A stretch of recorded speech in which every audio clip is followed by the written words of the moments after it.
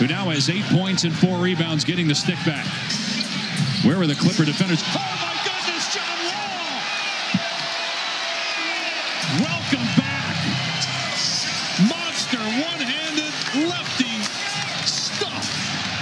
It's on Covington, his third personal. And Zeke Nnaji, my guy.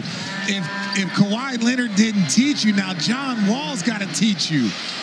My young player out here learning lessons.